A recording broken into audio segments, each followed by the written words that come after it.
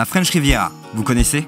Et comme j'aime pas faire les choses comme tout le monde, j'ai décidé d'emmener nos potes dans le sud, mais pas au bord de la mer. Plutôt dans l'arrière-pays, de Nice à Barcelonnette, pour les rejoindre l'équipe de AMV au Alpes Aventure Moto Festival. Pour m'accompagner, Olivier, dit Esti ou encore Fiflac, David qui roule bien mieux qu'il plonge, et Guillaume qui se fera appeler plus tard tout simplement Crac. La météo n'était clairement pas avec nous, mais les potes, eux, et la bonne ambiance étaient bien là. On a roulé, on a joué toujours avec honnêteté, on a visité des lieux légendaires, on a rencontré des passionnés. Bienvenue dans ce nouvel épisode de J'irai Rider.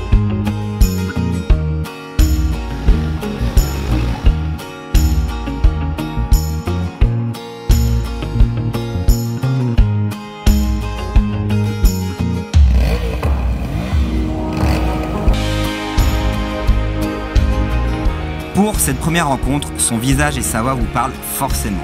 François Poncé, dit Pompon, journaliste pour Moto et Motard et dans l'incroyable émission Highside. Comme on s'est dit qu'il nous pliait en termes de pilotage, on lui a donné rendez-vous dans un lieu qu'on maîtrise davantage, au resto. Pas mal. Très très sympa ça. Je pas mal. Moi j'ai une question un peu con, du coup c'est quoi ton pire souvenir à moto? Ou le meilleur? Le, le pire, commençons par le pire. Le pire? Genre, tu euh, vois- est-ce que vous étiez ensemble la dernière fois? Bah la dernière, voilà Il vient pas juste de le Non, raconter. j'ai- ah, c'était Euh, pas Non, c'était le pire ça. Non, Ah c'était pas le pire. Euh, des pires, il y en a deux. Il y en a un dans mon ancienne euh, rédac, là je travaillais à Maximoto avant de travailler à Ouais. Moto Ah et ouais, Motard. c'est vrai. Et euh, on était descendu en pays Qatar donc pour faire des, un sujet tourisme. Donc moi je faisais les photos, c'était Philippe, mon collègue de l'époque, qui me faisait, qui faisait le donc qui faisait le papier. Et donc on était sur des Harley. Donc les pieds en avant comme ça, machin. Et, euh, et on remonte, il pleuvait mais genre la mer et les poissons. Et on a pris la pluie mais tout le long. Et lui il était pressé de rentrer donc il a bombardé tout le long. Enfin bombardé en Harley, hein, mais ça fait quand même 160-70 sur l'autoroute. Avec les pieds en avant, la pluie qui rentre comme ça partout, les trucs, enfin laisse tomber.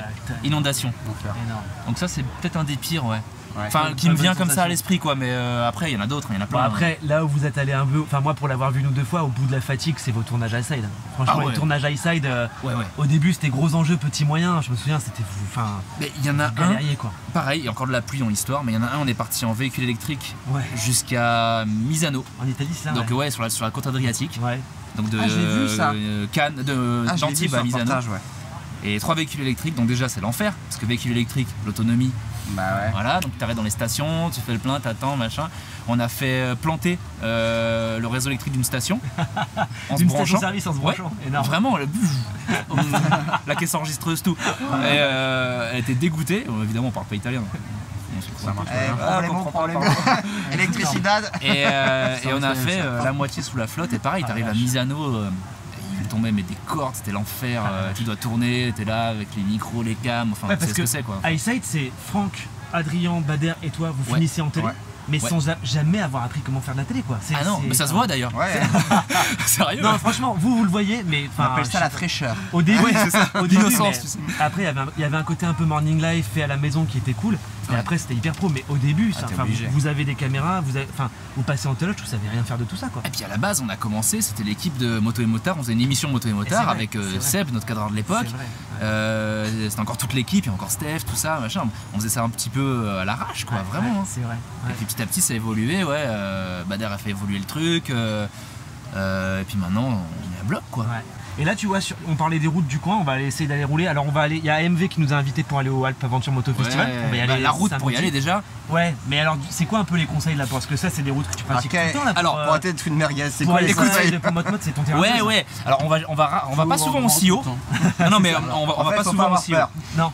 On y va de temps en temps, genre une fois ou deux par an, pas plus. Euh, parce que là, vous allez passer, euh, vous allez monter à la bonnette, quoi, en fait, Ouais. pour aller là-bas. Exactement. Euh, plus haut col d'Europe, euh, Ouais. plus haute route Ouais, d'Europe. plus haute route d'Europe. Plus haute Ah route bon d'Europe. Ouais. Ok. Donc, Donc, la, euh, la chemisette hawaïenne, ça va. Ouais, ça va pas passer là. Ouais, prends tour de cœur, cou. c'est ok. prends- Ouais, t'inquiète, on peu. équipé Head Square. Une petite séance coaching avant d'aller monter sur les petits virages. euh, Ouais. là-haut, ouais, non parce que mine de, mine de rien, je l'ai- j'ai déjà compté les virages pour y monter là-haut. Non, mais C'est vrai vrai, en plus. vrai. Je les ai comptés une fois sur, euh, pour une OP. Pour la bonnette? Euh, ouais, il y a 700. Enfin, je retrouve la vidéo. Je sais plus si c'est 720 ou 750 virages. Ah juste pour ouais. monter à la bonnette, hein, t'es pas redescendu encore. T'es juste Mais monté de. Nice. Hein. J'étais à Saint-Laurent-du-Var quand je suis monté. Ok. Ok. Donc il y a plus de 700 virages. Il faudrait que tu nous branches un peu sur des petits conseils de pilotage ou un truc euh, chez qui. Enfin, tu vois, je sais pas. si- Alors, euh, ouais, là j'ai mieux que ça pour vous. Non, mais vous êtes trop loin, Non, les non, gars. non, non, non, non, Faut commencer par le début. non, non, euh, Embrayage. moi j'ai Ah. bien un truc pour vous. Non, j'ai bien un truc pour vous et euh, ça peut être un bon bon entraînement, mais faut pas avoir peur de trop tâter le bitume, quoi, c'est tout. Ah, Tâter- Ouais, c'est ok. Tâter, tâter, ouais. Tant que c'est pas avec les dents, ça va. ouais, c'est ça. Ah, ça c'est toi qui choisiras. mais, euh, Je sais pas, ça me. Ça pourrait Non, te les arranger, euh, ceci dit. Ouais, ouais, j'ai un mec dans le coin là, euh, avec qui on bosse de temps en temps, c'est... il s'appelle Thibaut, Ok. et il a une petite école de pilotage. Oh, Bon, non. alors attends, attends, attends, attends, attends, détends-toi. N'en dis pas Euh, Esti, esti, esti. surprise Les. On garde la surprise. Ouais. On garde la surprise, Ouais, ok. la surprise, mais Donc il a une petite pas école de pilotage, Voilà, voilà. ça commence à J'en me dis chauffer pas là, je commence à avoir le cœur qui palpite là, tu sais, je suis là, genre ok, ok, ok. Euh, Il nous dit qu'il roule bien, mais en fait, on voit que c'est une grosse merguez Ah, en fait. probablement une merguez, c'est pas grave, Les mecs avec les chemises à fleurs en général, faut s'en méfier. hein. Exactement. Ils ont toujours un double visage, tu sais, double C'est ça, discours. c'est euh, vrai, c'est Ils sont restés bloqués dans les années 80. C'est vrai, il a cerné, il a cerné, il a cerné, il a cerné. Cold like zero degrees. I'm out the cage, gotta let out the beast. Revolution. C'est en dévers, verglas, euh, ouais, ça a l'air sport. Hein. Je sens pas. Je sens pas du tout. c'est que c'est une piste qui est extrêmement glissante. Donc des chutes, va y en avoir. C'est lequel le but de cet exercice à votre avis? Ça va être de travailler tout ce qui est glisse de l'avant, glisse de l'arrière. Parce que sur notre discipline, on passe notre vie à perdre l'avant, à perdre l'arrière. La chute n'est pas éliminatoire. Sinon, dans 10 minutes, on est tous rentrés à la maison.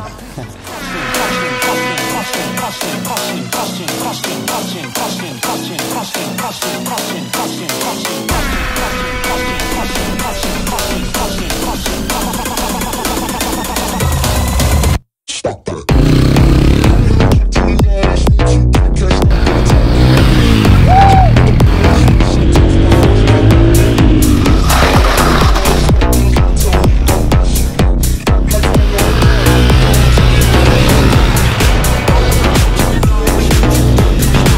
Est-ce qu'il y en a un seul de vous deux qui comprend ce que, vous êtes en train de faire là Chaud, mon gars, je suis chaud.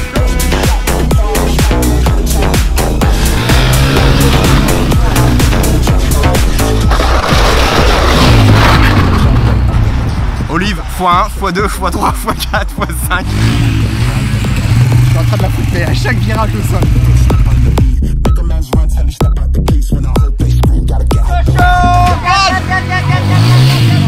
Oh là là, quel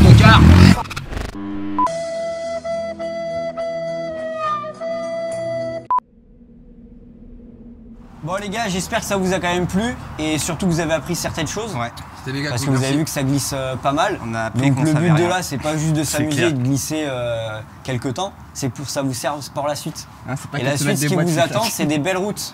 Ouais. Vous savez la meilleure route qu'il y a ici. C'est le col de Turini. Ah, Ok. mais méga Donc cool. vous allez aller au col ça Turini et vous allez voir, c'est génial. Et quand ça va glisser, maintenant vous savez gérer une moto Ouais. quand ça glisse. On va y aller Bah, mollo mollo sur la glisse sur Turini. euh, Mais en tout cas, on va y aller, ok. Le Turini en glisse, c'est maintenant. On a appris une chose qu'on ne savait rien.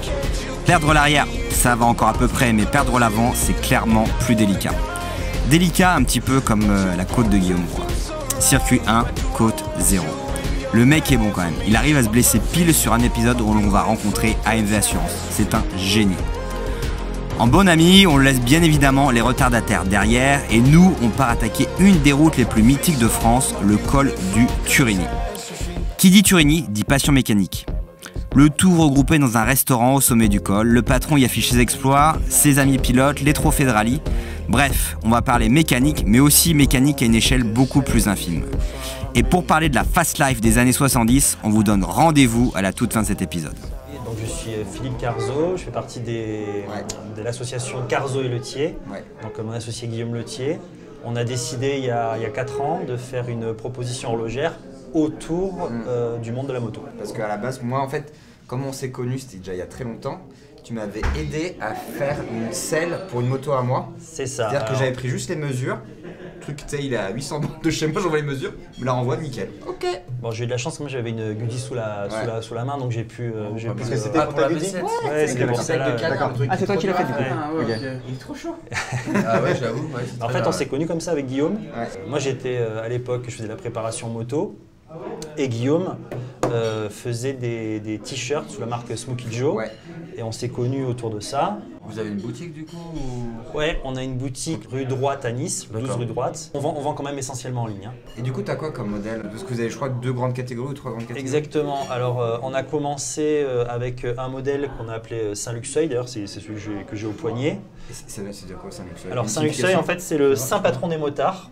Mais non. Ah, c'est pas Saint-Christophe?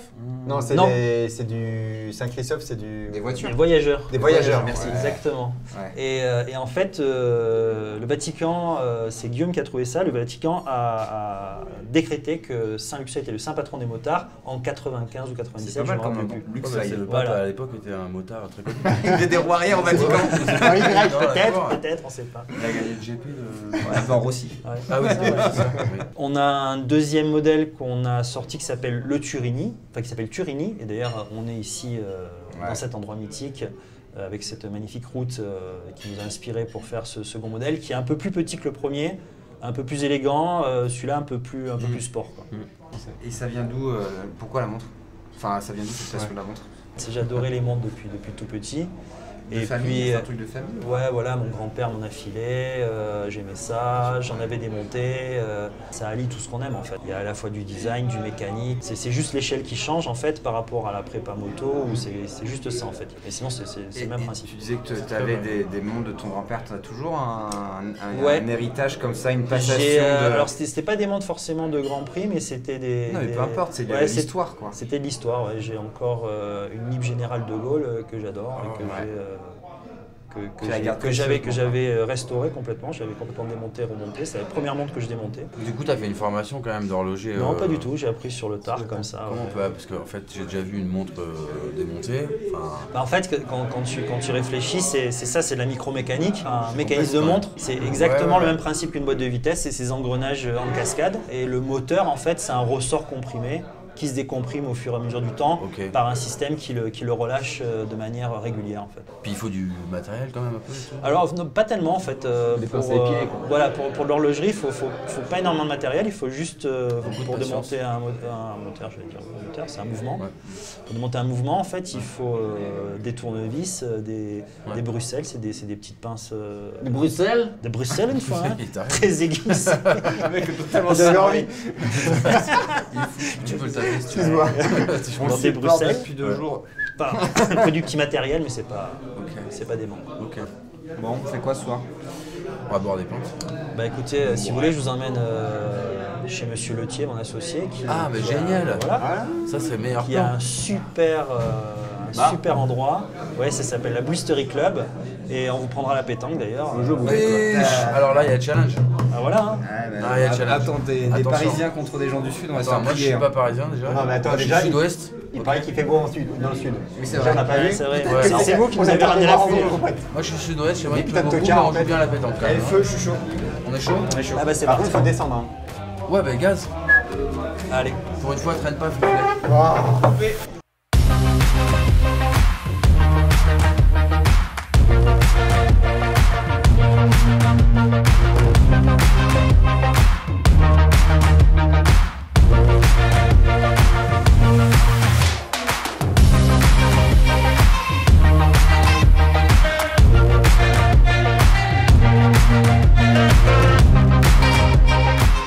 Direction la côte, non, non, non, pas celle de Guillaume, pour rejoindre les potes, dont la copine Clara et s'atteler au sport local, la pétanque. Vous avez déjà jeté des boules de pétanque dans un bar? Eh ben nous, jamais. On est vraiment pas bon, mais on maîtrise super bien la mauvaise foi par contre. Là j'ai un angle, j'ai 8 degrés tu sais, pour viser. Elle est noire. C'est la noire. Et là jamais personne doute. D'accord. Joli, joli. Ah, celle-là. Voilà. Non, non, non. Oh là là, elle est morte, hein. Enlève, enlève. Vous avez payé les mecs pour me faire chier en fait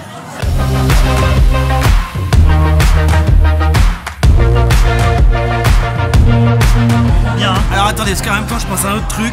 Euh, demain, on a rendez-vous hyper tôt. Non, demain, on a rendez-vous hyper tôt à Alp Aventure Festival. On doit aller voir AMV. Donc, ce que je propose, c'est qu'on va se coucher, on dit qu'on a gagné. Ça me semble pas mal, ça me semble pas mal. On ramasse les boules, c'est bon. Non mais demain faut qu'on gagne. Mais alors comment bravo, bravo, bravo, bravo David, on a gagné. Merci messieurs. Bonne soirée. Merci pour tout.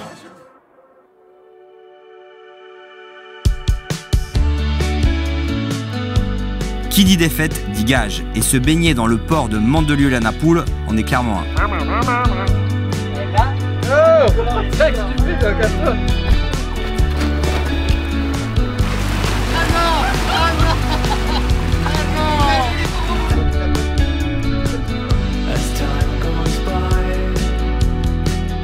Ensuite, direction le Alpes Aventure Moto Festival et surtout les 700 virages de l'ascension du col de la Bonnette pour rejoindre l'équipe de AMV.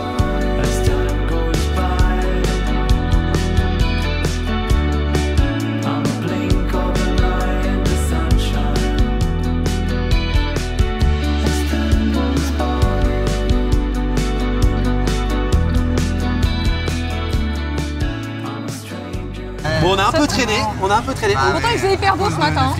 On dira pas pourquoi. On dira pas que c'est à cause de Bon, en tout cas, on est ravis de vous accueillir. Ouais, c'est cool. Puis il y a un bon petit programme parce que bon, déjà on est, on est content d'être là parce qu'effectivement on connaissait pas le Alpe Aventure Moto Festival. Et ça c'est le, le Ah bah oui, roadbook. vous, vous découvrez le roadbook. Mais ouais ouais complètement, on l'a pas encore Ah là téléchargé là, en un, fait. petit- un roadbook aux petits oignons. Mais ça c'est quoi C'est un, un roadbook que tout le monde a ici en fait tout Ah non, alors d'abord, il a été concocté par AMV avec des spécialistes de la région Ok, ok. pour qu'il soit unique. Ok, Alors, cool. Il est unique pour ceux qui viendront chez AMV et qui viendront flasher le QR code pour pouvoir y accéder. Ah oui d'accord, ok. Attends, attends, je vais, Ah, ça marche sur Chacun. Calimoto ou sur une, euh, sur, sur une appli, n'importe quelle appli en fait Bah, de toute façon, il suffit plus qu'un QR code. Comme au restaurant pour euh, Ah télécharger oui pour la les carte. menus, ouais parfait, ok d'accord. après le festival, il est encore dispo Ah ouais, mais après tu, tu Ah, le gardes. hein. Vous, vous l'avez fait le, le trip? Moi j'ai été faire quelques repérages ce matin, Ah, que du bonheur. T'as roulé avec qui? Et j'ai roulé avec Antoine Méo. Mais du coup, euh, l'attachement à la moto, il vient d'où chez MV C'est genre historique depuis le début ou c'est un truc Bah, L'attachement à la moto, c'est qu'en fait le président fondateur d'AMV faisait de l'enduro. Ouais. À l'époque, en 74, c'était impossible de s'assurer. Lui il faisait de l'enduro.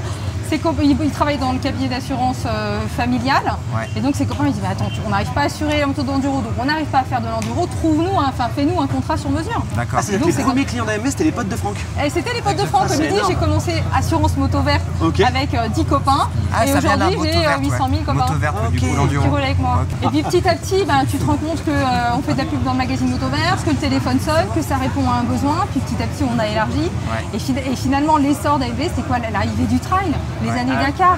En Ah fait, oui. Peter Ah, Hansel, il a porté, dedans, euh, Peter Hansel, il a gagné tous les Dakar aux couleurs d'AMV.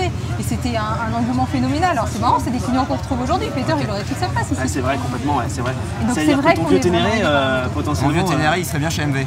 c'est vrai. Voilà, et après, euh, voilà, on est des tout terrain, donc on est allé sur le, la- le 4x4 et puis aujourd'hui, effectivement, le véhicule de collection parce que c'est des clients qui nous suivent. Et, et du coup, euh, vous êtes quand même pas mal sur plein d'événements. Le, le vôtre, votre préféré à vous, perso?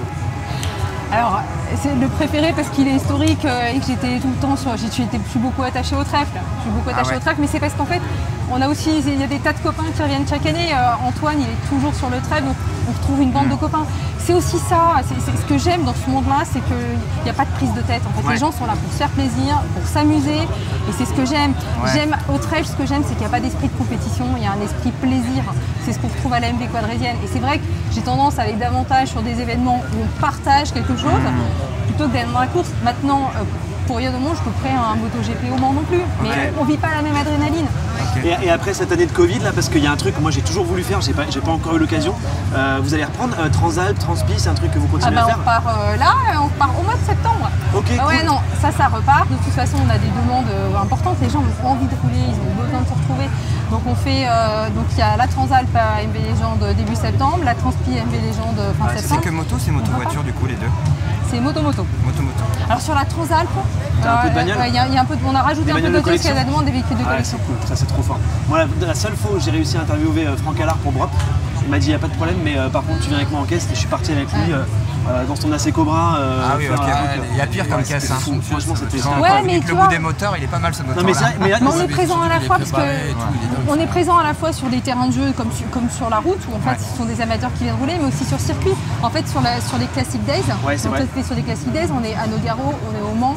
Euh, c'est- des gens qui viennent aussi rouler sur circuit. Ils ont besoin d'aller sentir la puissance de leur voiture, d'aller se mettre en concurrence avec les autres.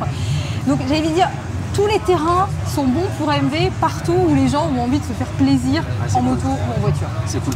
En tout cas, merci de l'accueil et puis merci d'avoir pris le temps de préparer ce petit, euh, ce petit road trip sur mesure, quoi. C'est cool. Ouais, ben amusez-vous bien parce que franchement, vous allez vous régaler. allez Par contre, part- partez Ouais. avant la pluie. Hein. Oui, merci. Ah, nous, on arrivera avant que la pluie arrive et peut-être que Fliflac il se prendra la Tu vas pluie. être toi. mouillé, je sens toi. Flic floc. Flic-floc. Flic-floc.